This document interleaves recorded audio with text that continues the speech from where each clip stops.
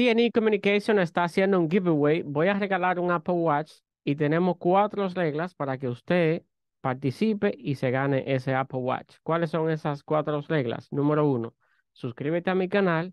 Dos, comparte el canal o el video con cinco personas. Tres, esas personas tienen que suscribirse al canal.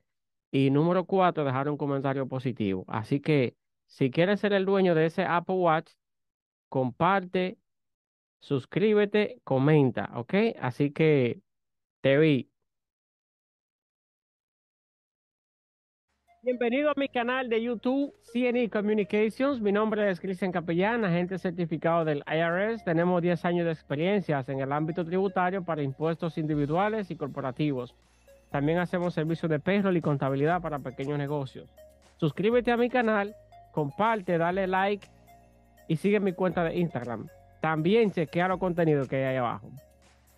Pila de contenido que sé que te van a gustar y le va a sacar mucho beneficio. Así que, nuevamente, suscríbete a mi canal, comparte, dale un me gusta y envíale esa vaina a todo el mundo. Que aquí hay pila de gente que necesita todo lo que está ahí. Chequea, chequea los videos uno por uno. Uno por uno. Te vi.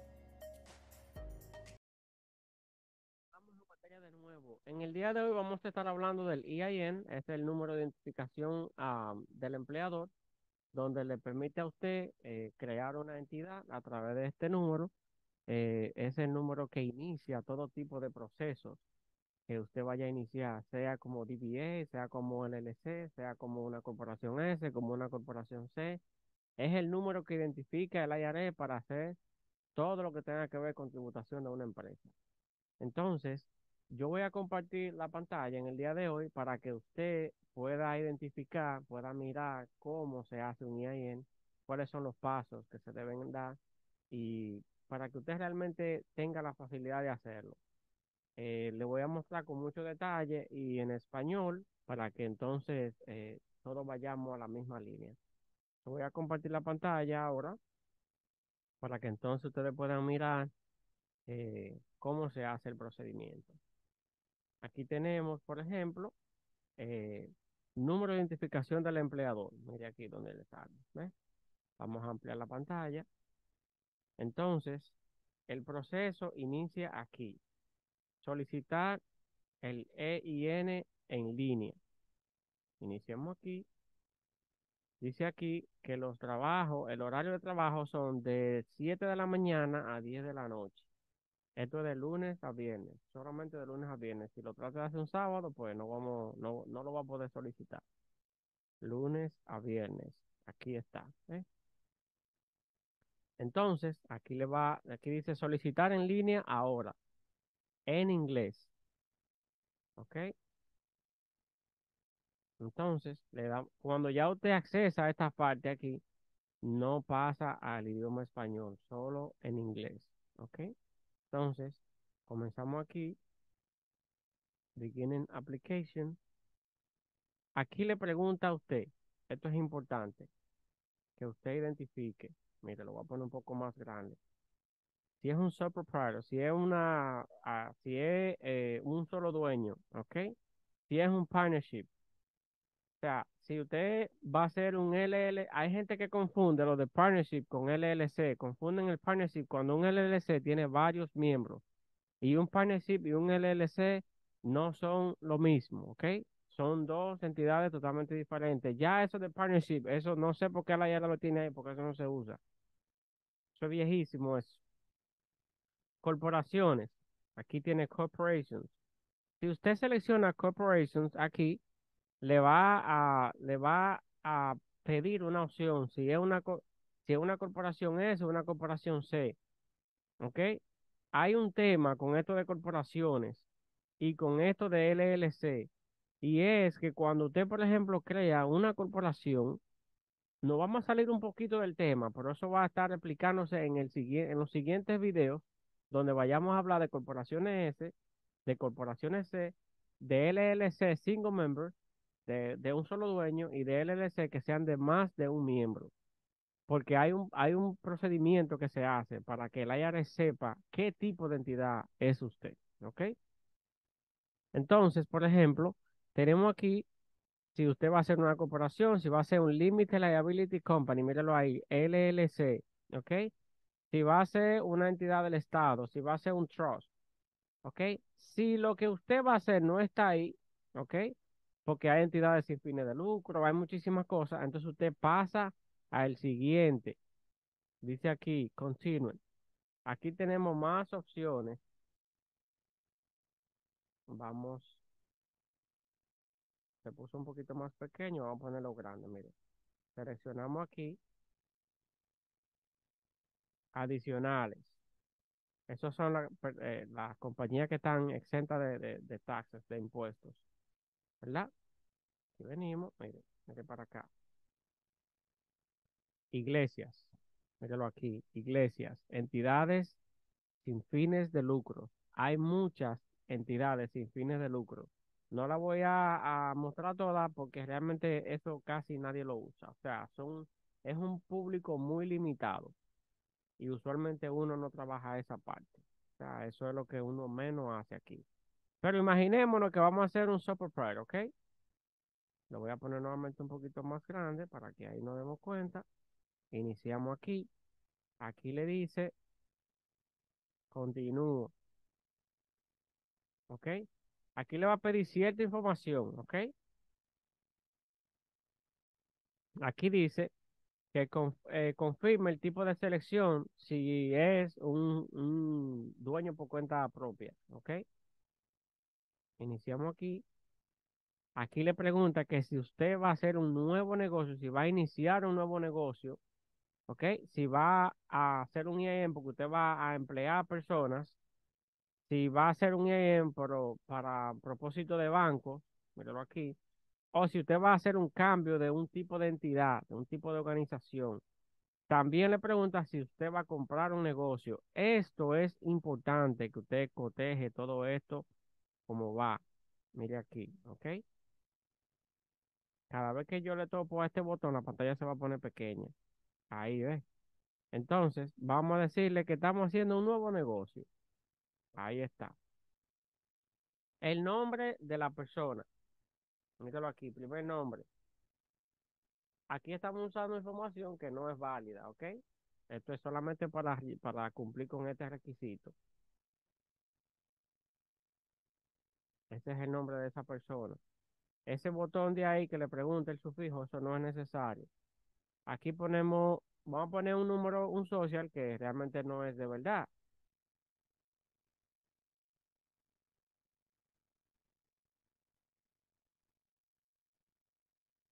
por ejemplo.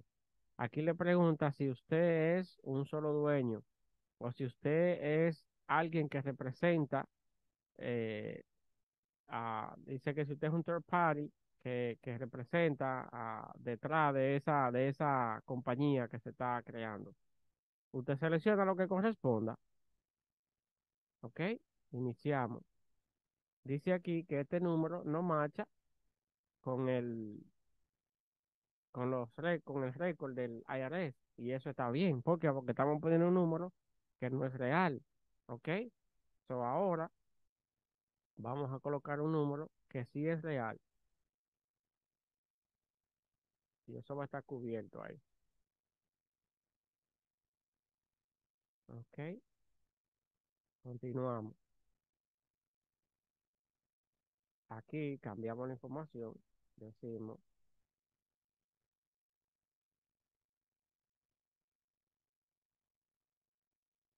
Ahí va a pasar ahora. Le damos siguiente. Mire. Vamos a ponerlo con H. Vamos a hacerlo nuevamente. Ahí dio un error. Porque algo no machó con la base de datos de ellos. Aplicamos de nuevo. Y eso es importante que suceda para que usted entienda cómo se debe hacer. ¿Ok? Seguimos aquí. Ya esto lo habíamos pasado. Ok. Vamos aquí avanzamos, comenzamos un nuevo negocio, avanzamos. Ok, ponemos aquí la información.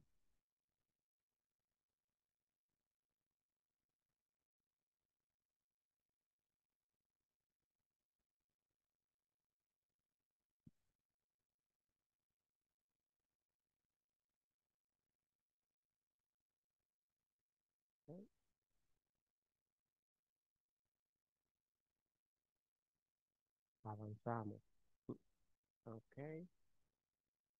Dice ahí que no, ya yo tengo un EIN para una S-Corp, so a mí no me va a pasar ese EIN.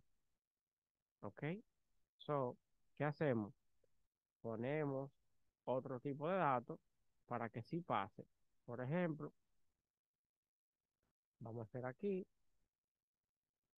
vamos a hacer una corporación. E. Vio que cuando aquí le dimos a corporaciones, mire, corporaciones, le dimos a avanzar, aquí pregunta si es una corporación, mira aquí, ¿qué tipo de corporación es? Vamos a decirle que es una corporación S. Avanzamos.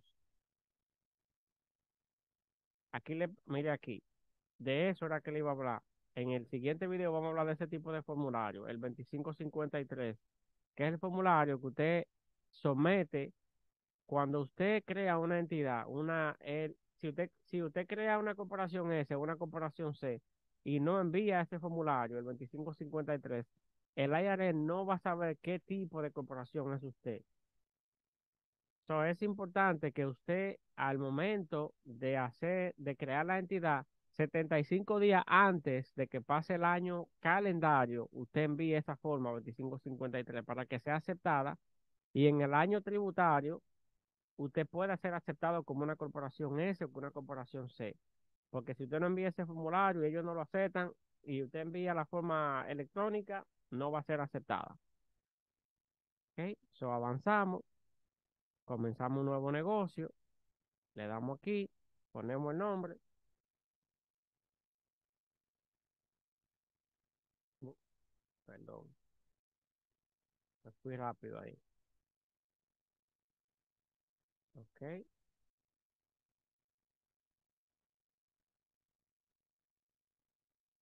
Ok, avanzamos, le damos continuar.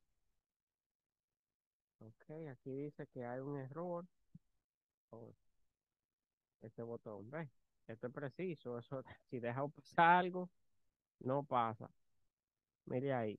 Ve que ya cuando yo estaba haciendo el DBA, no me estaba dejando hacerlo porque ya hay una corporación registrada bajo ese número de seguro social. ¿ok? Ya hay un, EIN emitido bajo ese seguro social como una corporación es, o sea que no baja, no baja de grado, ¿ok? So aquí ponemos la dirección del negocio que usted está registrando, ¿ok? La ciudad, el estado, el zip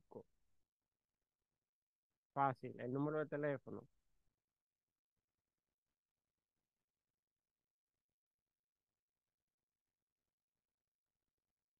¿Ok?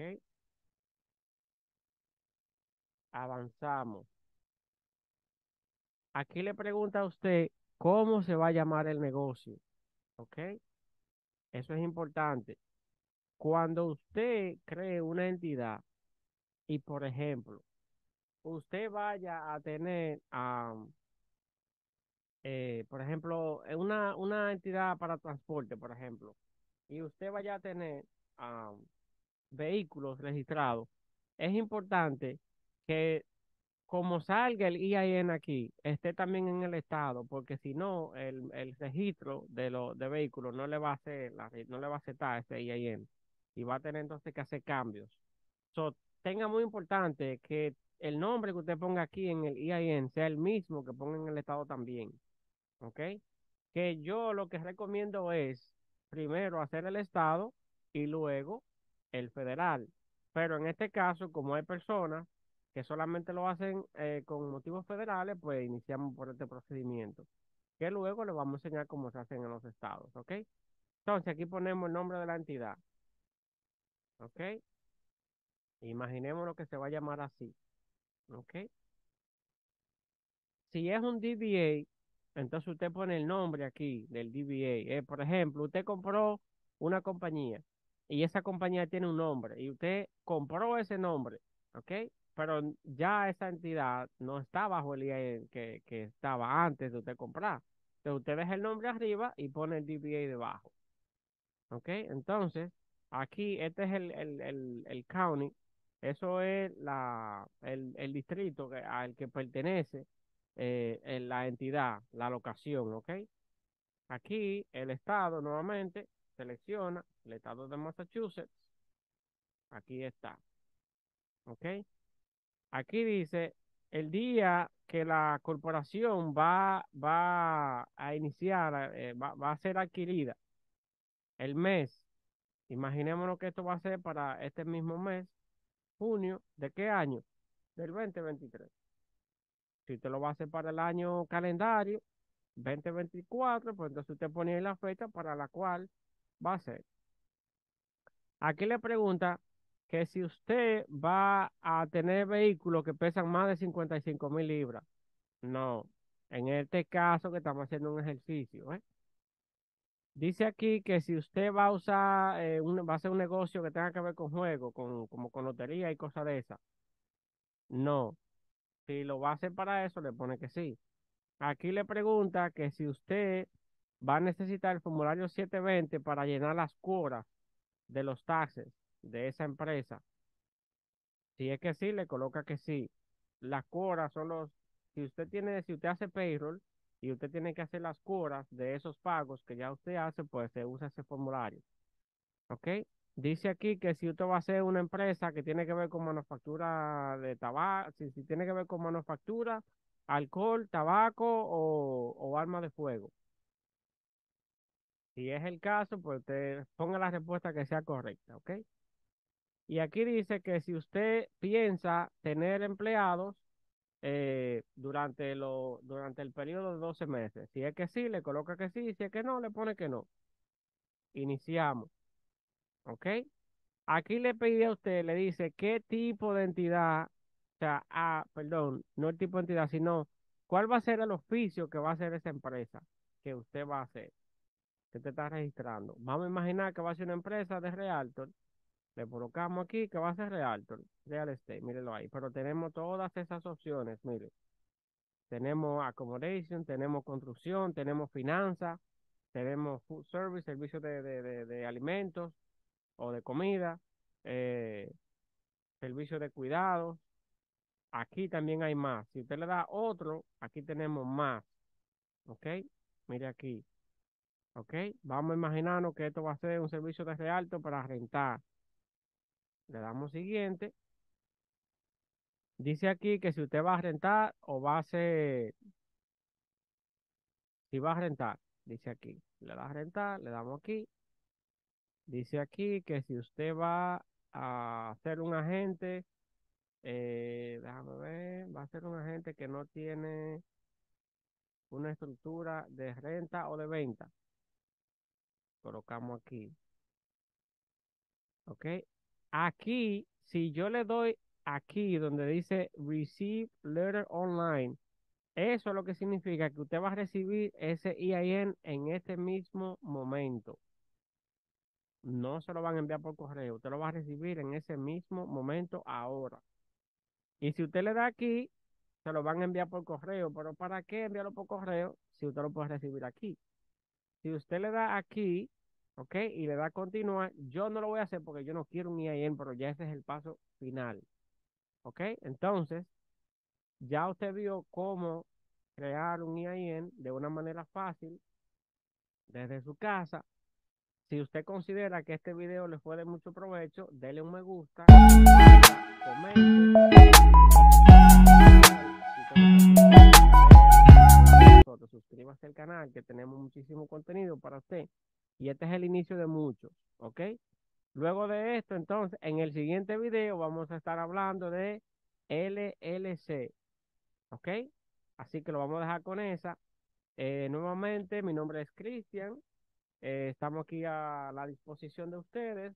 Eh, nada, gracias por tomar su tiempo y espero que le haya sacado provecho. Así que te vi.